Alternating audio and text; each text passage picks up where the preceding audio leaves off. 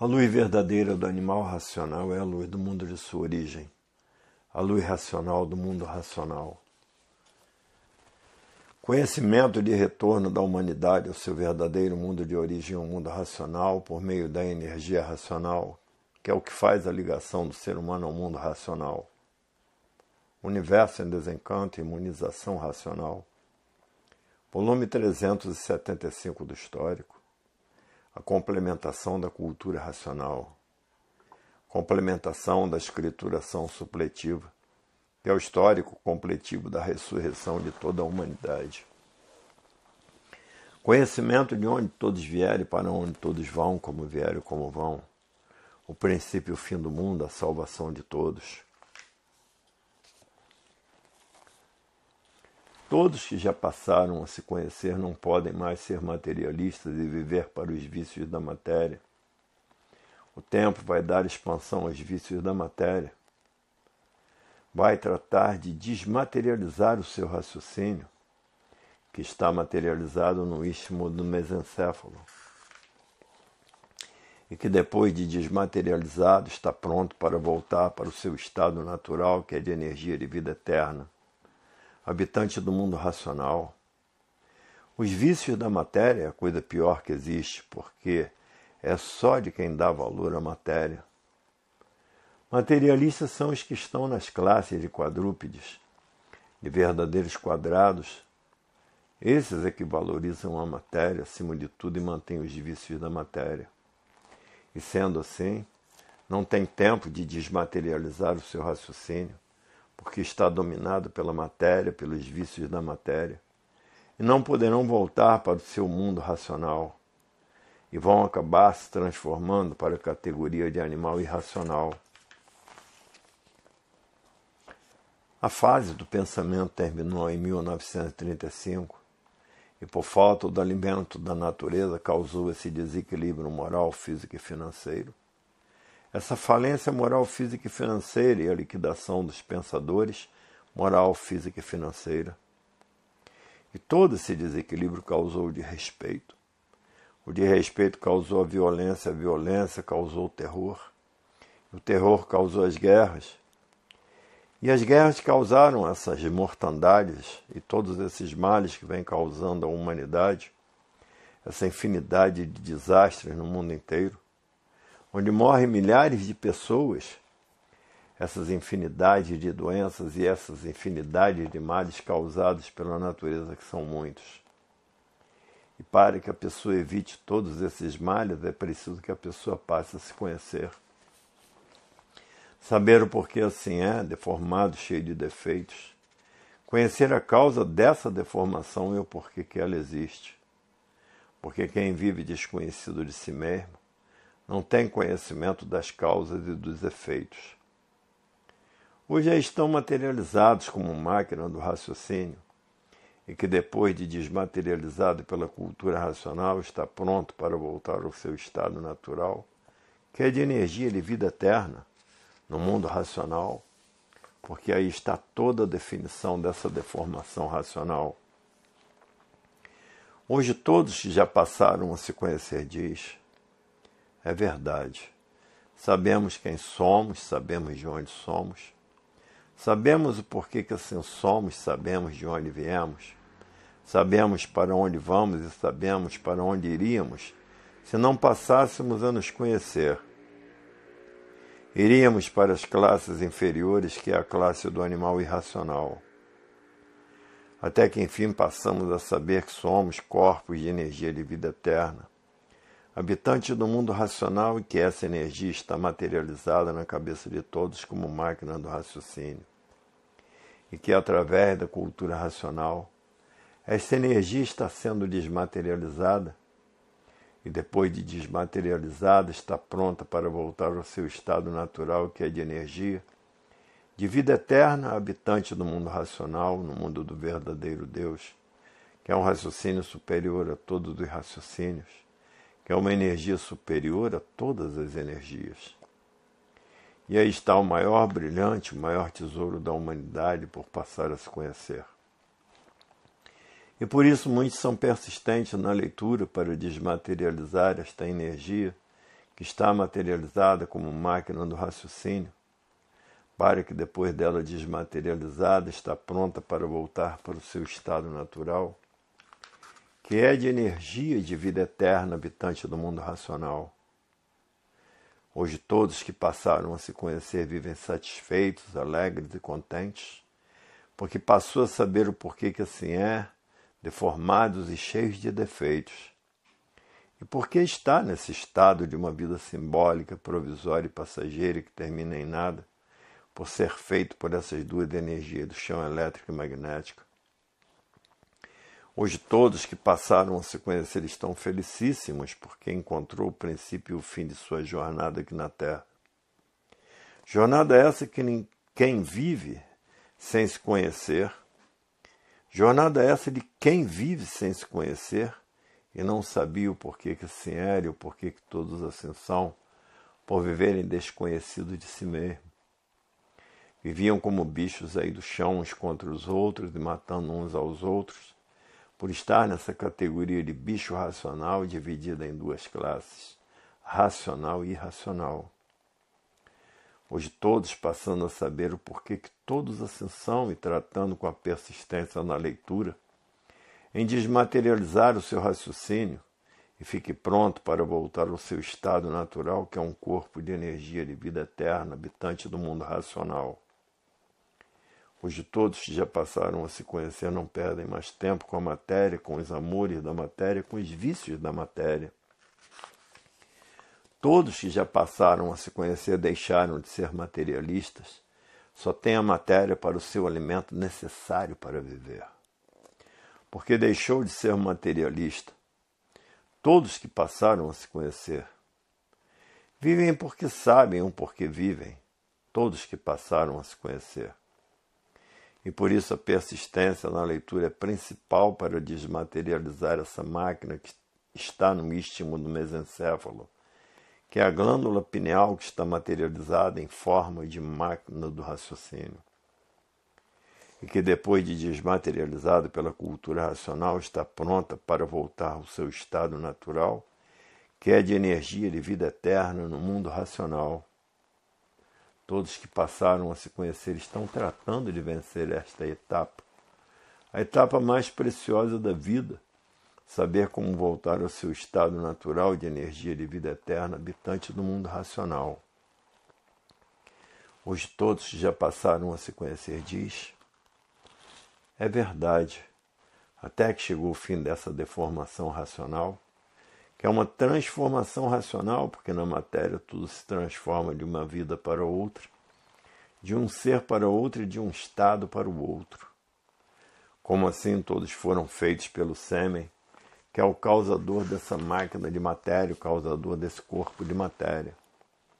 Como assim o irracional também usa o sêmen para sua formação da bicharada do chão. E ambos os sexos, todos são feitos pelo pingo d'água que é o sêmen. As fêmeas foram feitas pela energia magnética e representam a Terra como umas verdadeiras incubadeiras, que são aparelhos de reprodução de filhos e irmãos, que dependem do pingo d'água que é o sêmen para a geração de machos e fêmeas.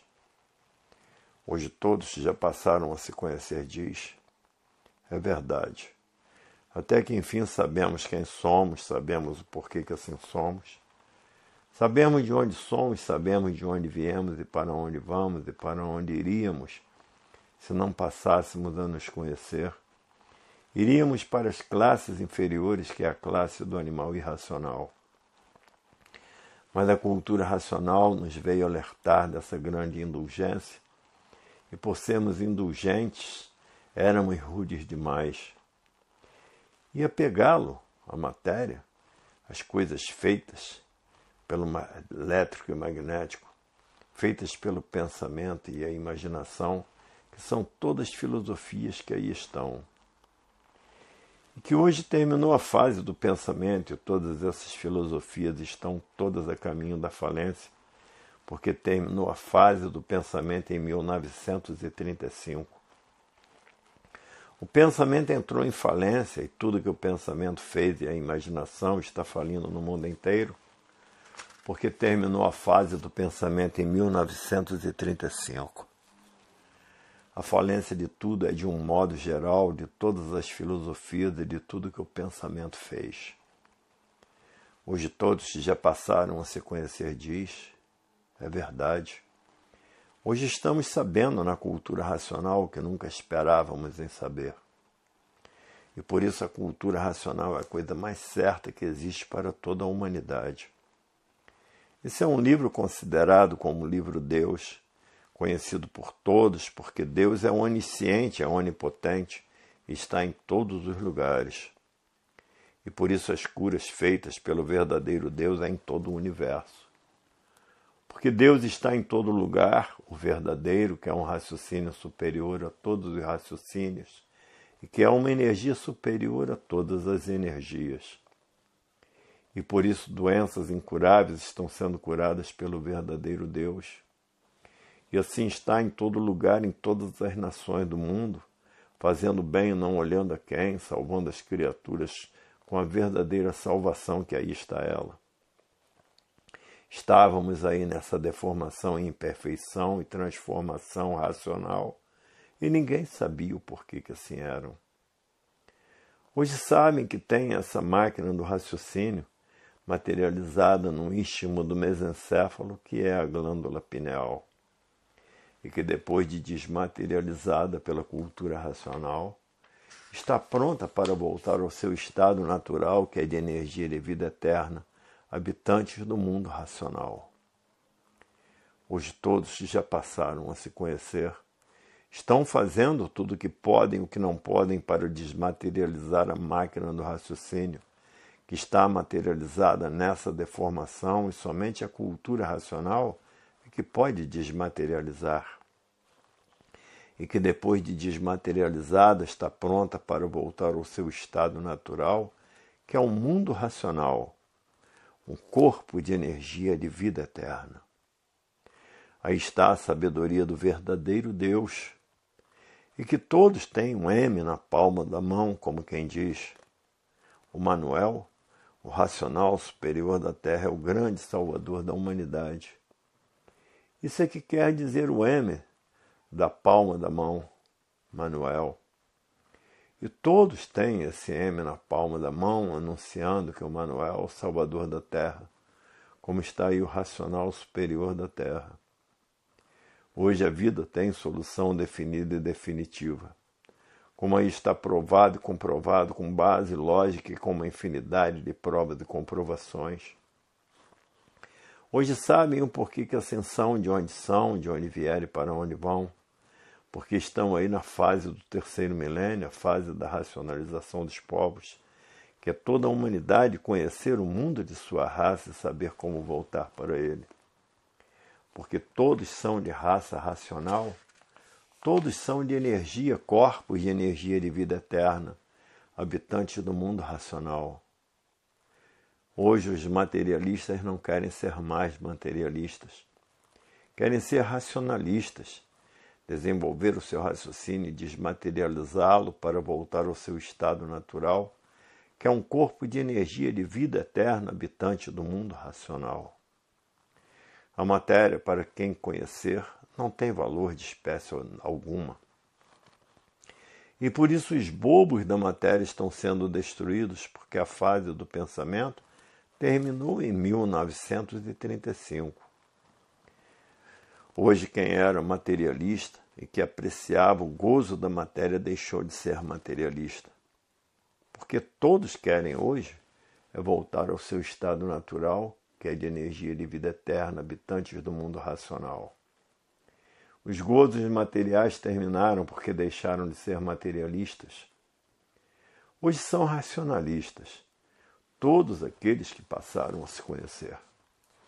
É preciso que todos saibam que todos nasceram do chão e por isso vivem dos produtos do chão porque nasceram do chão. Quem nasceu do chão vive dos produtos do chão mas ninguém se conhecia, ninguém sabia o porquê assim era e viviam desconhecidos de si mesmo. Por isso já passaram por tantas transformações desde que nasceram do chão. Como passaram pelas fases de monstros, por várias fases de selvagens, por várias fases de civilizados.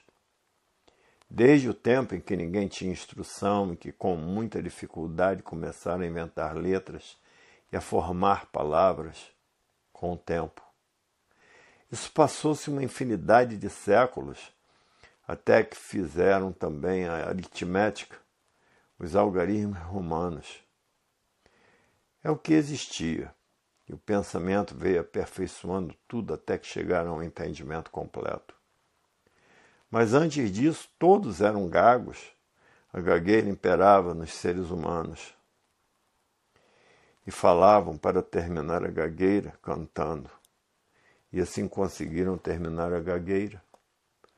Hoje são grandes falastrões. Hoje todos têm a língua solta, mas custou muito.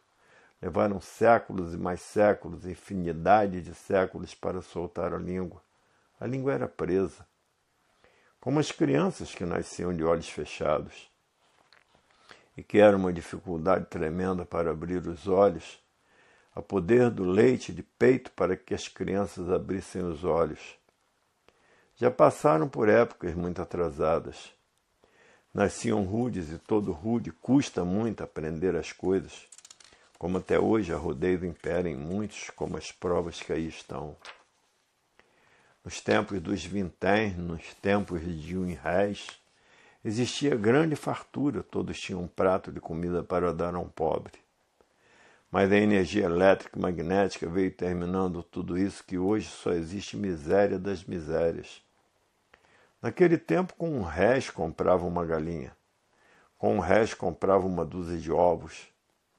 Havia grande fartura, porque a escravidão negra imperava e a patranhada toda que tinha a maioria toda.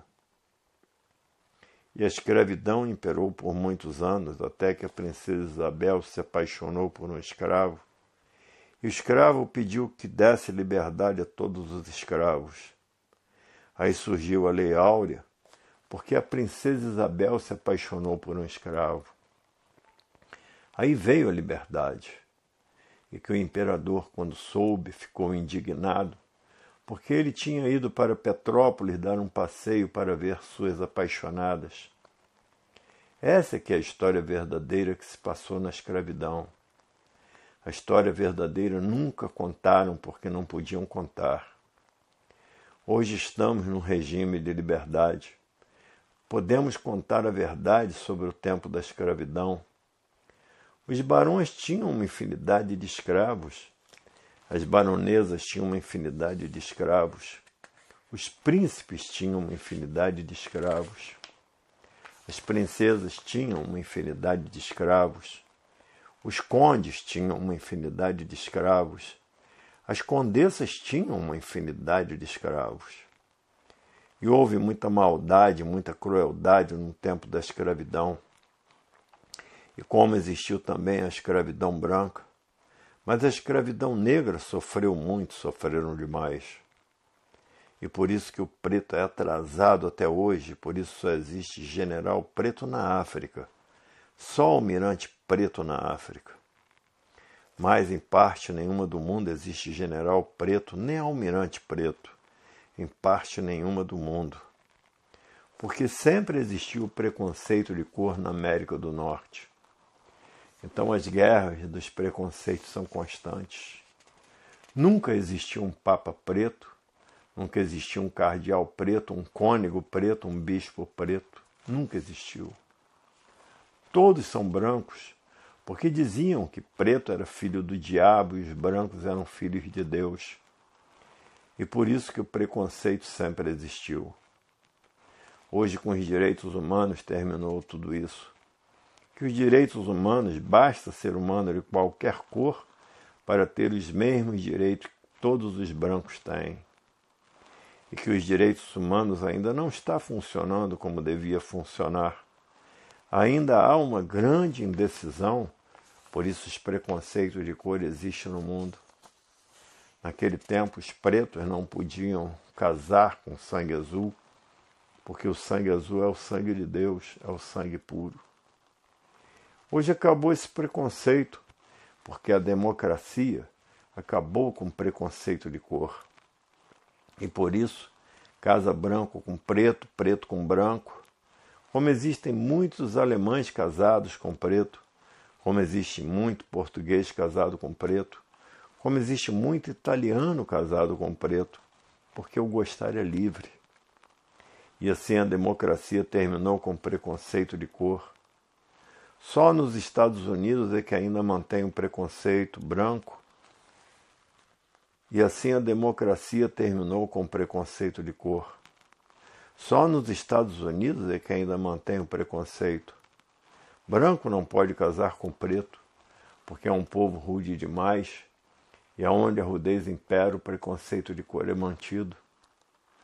Hoje o mundo está passando por pedaços terríveis, porque terminou a fase do pensamento em 1935.